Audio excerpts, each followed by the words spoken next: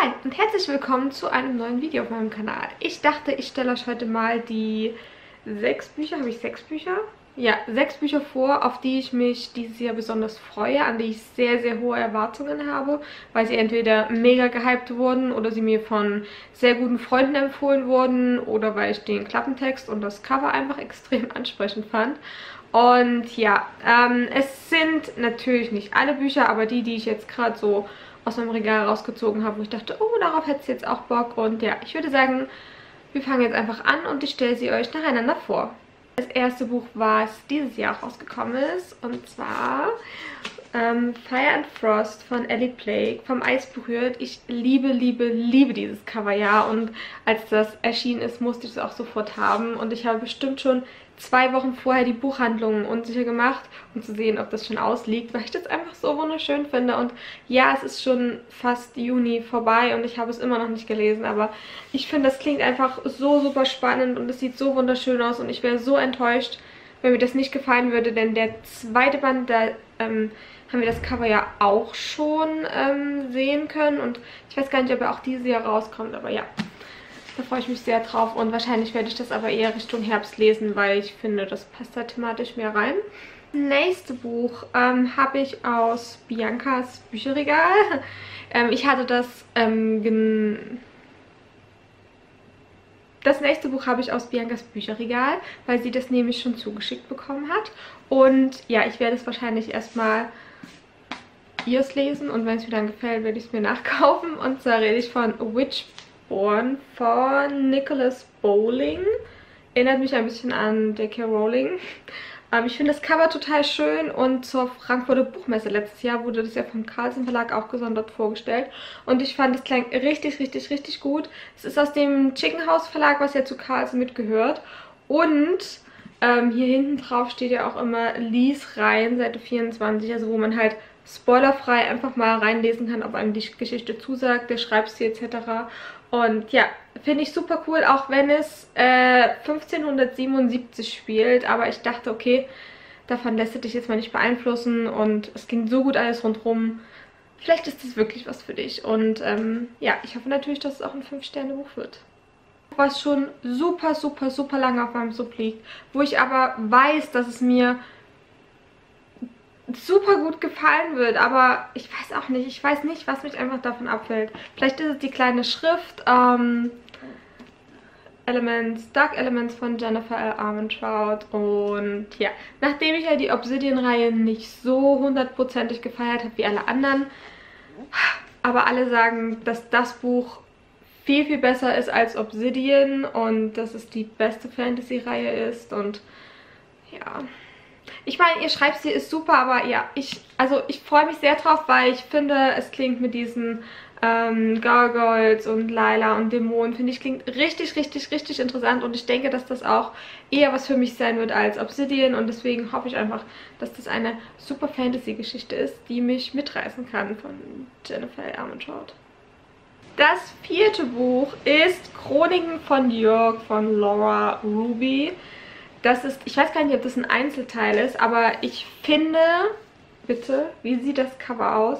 Ich finde das so wunderschön und ich kann, also ich kann einfach gar nicht ausdrücken, wie schön ich das Cover finde.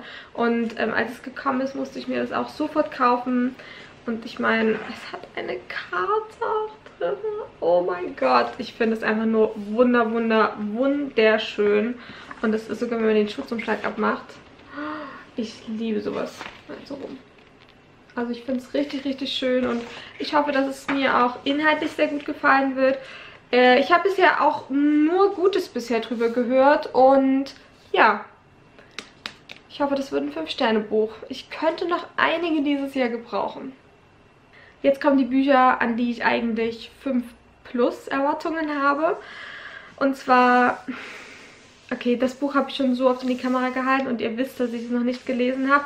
Obwohl ich ähm, eigentlich wissen möchte, wie es weitergeht. Und ich meine, es ist meine Queen, aber Lord of Shadows von Cassandra Clare.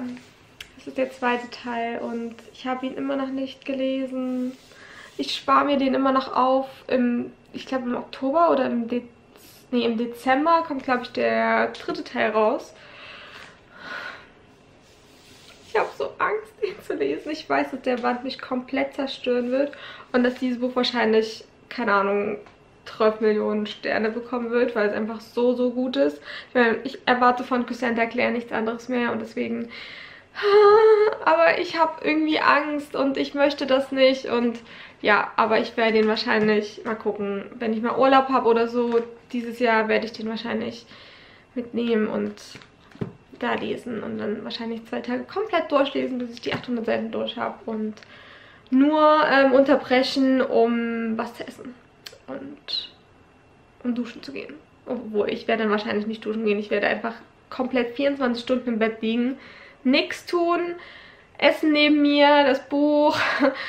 Selbst um auf Toilette zu gehen, werde ich dieses Buch mitnehmen. Und ja, das letzte Büchlein ist noch nicht erschienen. Aber ich freue mich jetzt schon so, so, so darauf. Ich habe die Leseprobe gelesen, fand es extrem klasse. Ich bin so froh, dass mir der Fischer Verlag das zugesandt hat, weil Leute, wow, die haben das so angeteasert die ganze Zeit und ähm, es ist Children of Blood and Bone von Tomi Adeyemi oder so und es ist einfach der Shit. Es ist so wunderschön. Es ist einfach eines der schönsten Bücher in meinem Regal. Und das Beste ist, dass es äh, unter dem Schutzumschlag Guck mal, der sieht aus wie so ein Piratenbuch. Und hier an der Seite ist es so wunderschön. Ich sag euch, drinne ist eine Karte. Da. Und Leute, dieser Schutzumschlag fässt sich so weich an. Das ist wie bei Witchborn. Es ist einfach so ein... Oh, ich finde ihn einfach so toll. Ich, oh, es ist einfach... Oh, ich freue mich so sehr auf dieses verdammte Buch. Und ich glaube einfach, dass man das... Äh, ich kann nicht mehr reden dass mir das so, so, so, so, so gut gefallen wird. Und ähm, ich freue mich auch auf die Verfilmung, denn die Filmrechte wurden ja schon verkauft und ich glaube, es wurde auch schon gefilmt, zumindest ein Teil, soweit ich das irgendwie richtig gelesen habe. Und ja, also deswegen denke ich, dass das auf jeden Fall ein 5 plus Sterne Buch wird. Und ihr könnt mir ja mal gerne ähm, in die Kommentare schreiben, welches Buch ihr gelesen habt, welches ihr super gut fandet und ähm, oder wo ihr denkt auch, hm, das würde dir gefallen oder ja. Ähm, ich würde mich sehr darüber freuen und ansonsten sehen wir uns beim nächsten Video wieder. Bye!